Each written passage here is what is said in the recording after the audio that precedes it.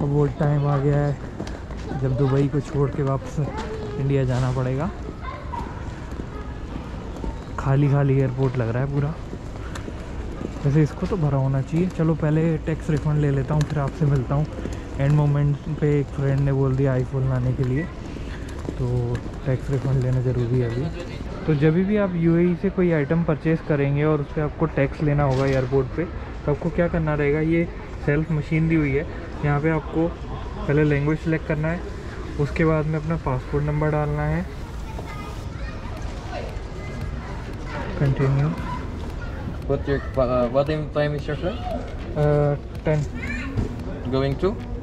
Delhi You just have to open this one. I mean, I need to Okay. So you have to see any other item. For electronics, Every 100%, item. yeah. For Yeah. electronics, it's hundred percent. You see the rest, it's uh, randomly checked. Is No, it are you, you, you open it already?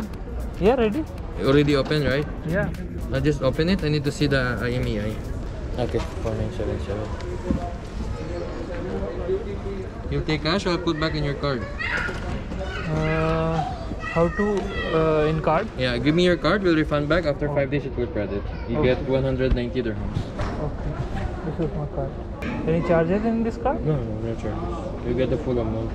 Thank you. Have a safe flight. It's done. Thank you आप self refund भी ले सकते हो जो मेरे पीछे machines लगी हुई हैं इधर आप जाओ अपना स्कैन करो और आप सेल्फ रिफंड ले सकते हो अदरवाइज़ आप इनके काउंटर्स भी बने हुए हैं इनके पीछे तो वहाँ पे आपको अगर कोई परेशानी आ रही है तो आप उसमें भी कर सकते हो और ये चीज़ है कि इनका, क्या नाम है, ये कैश भी दे सकते हैं आपको और अगर आपको अपने अकाउंट में वापस चाहिए तो आप अकाउंट में भी ले सकते हो। तो मैंने सोचा कि अगर ये मुझे कैश दे देंगे दिरम तो मेरे को 200 दिरम रखने पड़ेंगे संभाल के, फिर मैं उसको एक्सचेंज कराऊँगा इंडिया में जाके। इससे बढ़िया इन्होंने क्या किया, इन्होंने मेरा कार्ड नंबर ले लिया डेबिट कार्ड नंबर और उसमें ये पूरा ट्रांसफ़र अमाउंट कर देंगे। तो वो भी ठीक है, मेरा वाइनर काम आ जाएगा। तो ये मैं आपको बताना चाह रहा था, अभी चलते हैं चेक इन के लिए और फिर उसके बाद में मैं आपसे मिलता हूँ, क्योंकि बहुत जल्दी जल्दी में आया मैं तो आपको टैक्स रिफ़ंड बताना भी ज़रूरी था। टैक्स रिफ़ंड हो गया है और एक बार टैक्स रिफ़ंड के बारे में आपको बतानी थी कि स्पेशली अगर आप कोई इलेक्ट्रॉनिक परचेस करते हो तो वो उसको ओपन करके उसका सीरियल नंबर ज़रूर चेक करेंगे। मतलब वो ऐसा मैंने पूछा था अभी तो वो ये बोला कि स्पेशली इलेक्ट्रॉनिक में हमें जो है सीरियल नंबर चाहिए होता है। ऐसा मतलब इसलिए हम चेक करते ही हैं इलेक्ट्रॉनिक आपके अगर लगेज में पूरा पैक भी है तो पूरा इलेक्ट्रॉनिक पहले आपको देखेंगे, चार पाँच आइटम जितने भी हैं, उसके बाद में ही वो अप्रूव करेंगे। बड़ी लंबी लाइन लगी हुई है यार। लग तो एमिरेट्स ही रहा है ये। हाँ एमिरेट्स ही है। बहुत लंबी भीड़ है। चलो अभी कैमरा ऑफ़ करता हूँ मैं, और फिर आपके पास फिर आपसे मिलता हूँ मैं आफ्टर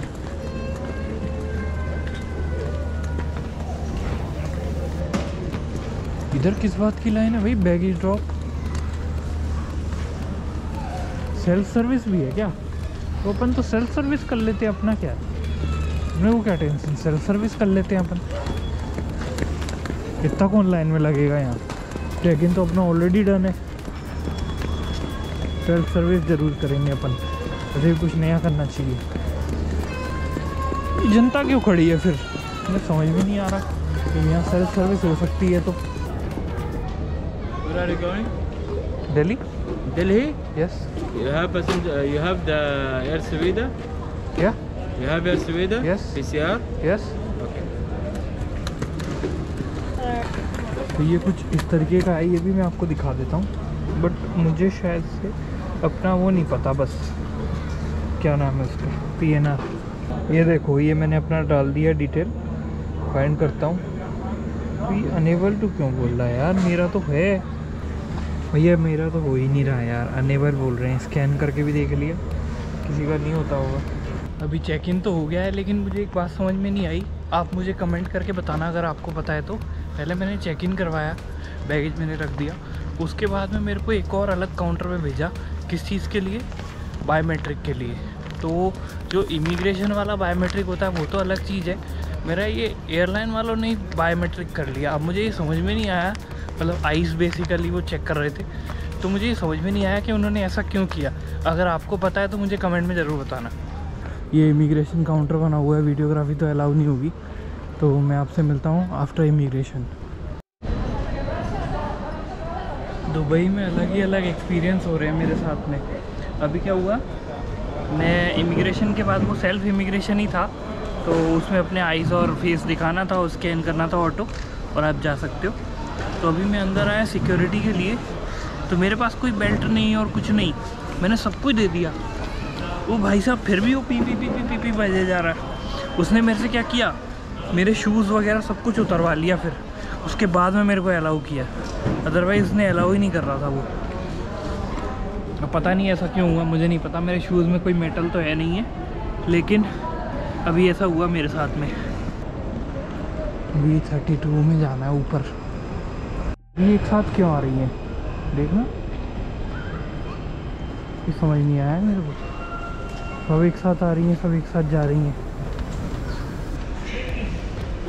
टोटल वापसी में लेके आ रहा था आठ दिरम उसमें से आठ भी नहीं eight seven point two five एक चवन्नी थी और दो सिक्के थे और एक पाँच का नोट था। अब वो सिक्के बजने लगे। मैं भूल गया था, सिक्के बजने लगे। तो फिर क्या नाम है? मैंने किसी और की ट्रेन में रखा, वो चले ही गए, दो सिक्के मेरे। चालीस रुपये का नुकसान। ये ड्यूटी फ्री अब पाँच का दिरम का नोट पड़ा है मतलब मेरे पास, वो मैं रखूँगा संभाल के। बाकी और तो कुछ नहीं है। खाने का फिर मैं कुछ नहीं खाया, मैंने कहा फ़्लाइट में तो मिलेगा, लेकिन अभी भूख लग रही है। और ये फ़्लाइट चलेगी दस बजे, वो देगी साढ़े दस, ग्यारह बजे तक मुझे खाने को। चलो ठीक है मैनेज करेंगे, कोई दिक्कत नहीं। नौ तो बज ही गए होंगे अभी। बी थर्टी टू बहुत दूर है यार। इन्होंने तो एली एलिवेटर भी नहीं लगाया। क्या बात है? यहाँ कोई रोक के दिखाए मेरे को कि वीडियोग्राफी नहीं कर सकते। हैं? हर जगह रोक देते हैं। ये तो टूरिस्ट का हब है मतलब टूरिस्ट पूरे दुबई में पता नहीं कितने लोगों ने रोका मुझे। No no photo no video Delhi का पूरा बदला यहाँ पे निकल गया है। दिल्ली में मेरा फ़र्स्ट गेट था। यहाँ पे लास्ट गेट है बी थर्टी टू और कोई कुछ लगाया भी नहीं हुआ। दिल्ली एयरपोर्ट अच्छा है यार, इससे तो वहाँ पे कम से कम एलिवेटर तो लगे हुए हैं वो चलने वाले। तो यहाँ चलते रहो चलते रहो। गलत है। दुबई से कोई देख रहा है? तो दुबई वालों को बोलो एलिवेटर लगाएँ। इतने सारे फालतू के जो शोरूम बना रखे हैं इससे अच्छा एलिवेटर ही लगा लें। और बेचारा कोई जिसकी फ़्लाइट छूट रही हो, वो तो बेचारा भाग भाग के परेशान। वैसे ही हैंड बैगेज भी तो होता है बी थर्टी बी थर्टी हो गया गेट आ गया। बी थर्टी टू है अपना। अभी तो नौ नहीं बजे, अभी सवा नौ बजे से होगा। बोर्डिंग स्टार्ट आ गया अभी थर्टी टू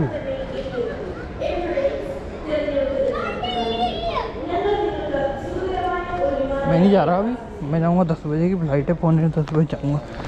साढ़े नौ बजे से पहले तो बिल्कुल नहीं जाऊँगा। अब बात कर लेते हैं डॉक्यूमेंट्स की। अगर आपको यूएई से इंडिया में आना है तो आपको क्या क्या डॉक्यूमेंट्स चाहिए? तो मैं आपको बता देता हूँ, आपको चाहिए होगी कोविड की नेगेटिव रिपोर्ट जो 72 टू आवर्स के अंदर की होनी चाहिए आपके डिपार्चर से।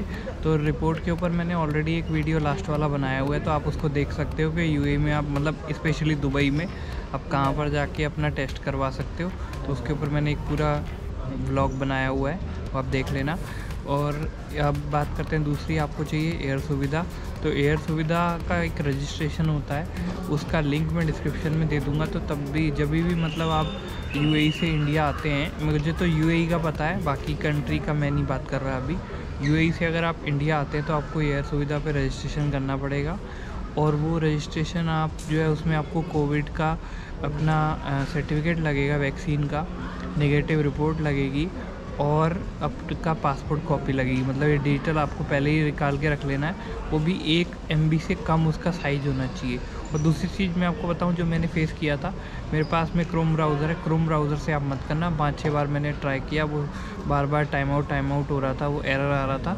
तो आप मोजिला से करना तो आपका एक बार में हो जाएगा। क्रोम से बिल्कुल मत करना रजिस्ट्रेशन तो ये आपको चाहिए एयर सुविधा आपको चाहिए कोविड की नेगेटिव रिपोर्ट आपकी टिकट्स वगैरह, बस ये मतलब दो मेन डॉक्यूमेंट चाहिए आपको, एक नेगेटिव रिपोर्ट और आपका एक और आप जैसे इंडिया में आते हैं तो आपको वैक्सीन का सर्टिफिकेट भी चाहिए होगा, क्योंकि अगर आपके पास में फुल्ली वैक्सीनेटेड का सर्टिफिकेट नहीं होगा तो फिर आपको सात दिन क्वारंटाइन और ये सब चीज़ें करनी पड़ेंगी तो अभी मैंने आपको बता दिया चेक इन मैंने कर लिया। अब आपको मैं दिल्ली में जाके कस्टम का और बताऊँगा, क्योंकि मैं आपको पता है आठ दस परफ्यूम लेके आ रहा हूँ। अब मैंने एक आईफोन भी ले लिया ड्रोन भी मैंने ले लिया, है ना? सिगरेट भी है मेरे पास, पाँच छः सिगरेट है मेरे पास में। तो अब देखते हैं, ऐसा नहीं हो कि वो लोग बोले कि यार आप तो इसको सेल करने जा रहे हो। ऐसा मेरा कोई इंटेंशन नहीं है। आईफोन मेरे फ्रेंड का है ड्रोन मेरा है, और बाकी सिगरेट भी है मेरे फ्रेंड्स की हैं, और जो परफ्यूम है वो भी मेरे फ्रेंड्स का है। और कुछ चॉकलेट भी हैं, वो भी फ्रेंड की मेरा अपना सिर्फ़ मेरा ड्रोन है जो मैंने यहाँ से परचेज़ किया है और वो हाँ मेमोरी कार्ड है और कुछ पावर बैंक है जो मेरे हैं। बाकी सब मेरा कुछ भी नहीं है। वो कस्टम पे जाके देखते हैं कस्टम वाले कैसे इसको रिएक्ट करते हैं। और मेन बात तो आपको मैंने बताई थी कि आपको जो कोविड रिपोर्ट की नेगेटिव मतलब जो चाहिए वैक्सीनेशन चाहिए एयर सुविधा चाहिए, ये सब आपको हार्ड कॉपी में प्रिंट आउट लेके यहाँ पर आना है। ये सॉफ्ट कॉपी नहीं मानते हैं। ये यहाँ पे दो लॉबी बनी हुई है। लेफ़्ट साइड में बिज़नेस क्लास फ़र्स्ट क्लास और सामने इकोनॉमी क्लास तो अपना तो इकोनॉमी है। अपन इकोनॉमी में जाएँगे। अभी वो बोलेगी, कैमरा बंद कर लो तो बंद कर देता हूँ पहले पिछली बार की तरह इस बार भी मैंने लास्ट वाली सीट ली है, लेकिन इस बार मैंने डबल वाली ली है। मतलब ये मेरी सीट है और इसके पास वाली ये है। क्योंकि मेरे को लास्ट टाइम में जब मैं सो रहा था, मेरे को नींद तो आई नहीं। तीन सीटें भी मुझे मिली, लेकिन मेरे को नींद नहीं आई, क्योंकि इतना कंफर्ट नहीं था। तो फिर मैंने सोचा, चलो इस बार दो सीटों में बैठ के देखते हैं, दो सीटों में क्या है? तो इसमें बस ये बेनिफिट है, इसमें ये जो थोड़ा सा स्पेस यहाँ पे भी दिया हुआ है एक्स्ट्रा विंडो के साइड में और लेग स्पेस वगैरह तो सब नॉर्मल ही है, लेकिन हाँ डोमेस्टिक सीट्स में जो डोमेस्टिक फ़्लाइट होती है, उसमें लेग स्पेस है इसमें ज़्यादा है। आज की उड़ान का समय दो घंटे तीस मिनट है और हम उनतालीस हज़ार फीट पर उड़ान भरेंगे। यदि आपको किसी सहायता की आवश्यकता हो तो कृपया हमें बताएँ। धन्यवाद।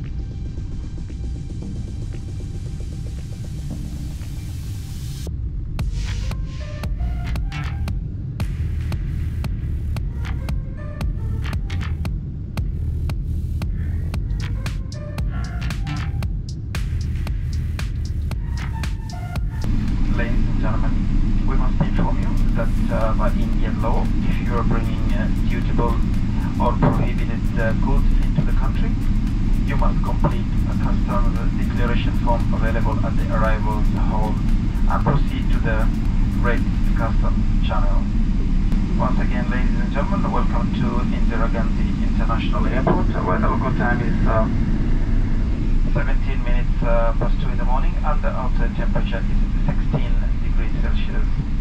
Please keep your seatbelt fastened until the sun has been switched off. The government of India requires all arriving passengers to take a molecular test on arrival and undergo health screening measures as directed by the authorities.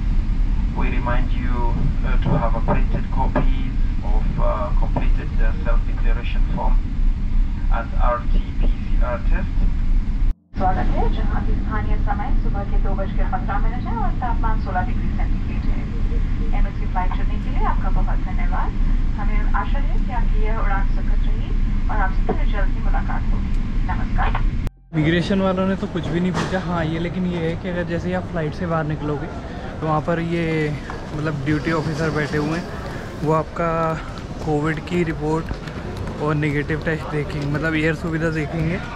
और फिर वो आपके boarding pass पे एक stamp लगा देंगे। 14 days self monitoring वाला क्योंकि वो ज़रूरी है। अब कस्टम मैंने अपना तो कस्टम के बाद में मैं आपसे मिलता हूँ क्योंकि वीडियोग्राफी अलाउ नहीं है। मैं एग्ज़िट हो गया हूँ। कस्टम डिपार्टमेंट में भी कोई प्रॉब्लम नहीं आई है। आराम से इजीली बहुत अ, कुछ भी नहीं हुआ। मतलब एक मिनट के लिए मशीन में उन्होंने रोका था। बट मैंने ऐसे रिएक्ट किया कि तो अपन ने तो कुछ गलत किया ही नहीं है। तो उन्होंने भेज दिया। तो अभी मैं बाहर आ गया हूँ। और कोविड का टेस्ट मैं सोच रहा था कि कोविड का टेस्ट होगा। मतलब यहाँ पे भी होगा बट यहाँ पे तो कोई टेस्ट नहीं हुआ। मे भी हो सकता है, क्योंकि हमने रिपोर्ट दे दी थी, इसलिए नहीं हुआ। मतलब कोविड की निगेटिव रिपोर्ट दिखा दी थी, पहले इसलिए शायद टेस्ट नहीं हुआ। तो यार ये दुबई सीरीज़ का यहीं पर एंड होता है। आई होप आप सभी को ये मज़ा आया होगा दुबई सीरीज़ में। मैं आपसे मिलता हूँ नेक्स्ट वीडियो में जल्दी। एक नया प्लान बना हुआ है ऑलरेडी तो मैं आपसे नेक्स्ट वीडियो में मिलता हूँ। आज के लिए इतना ही। Thank you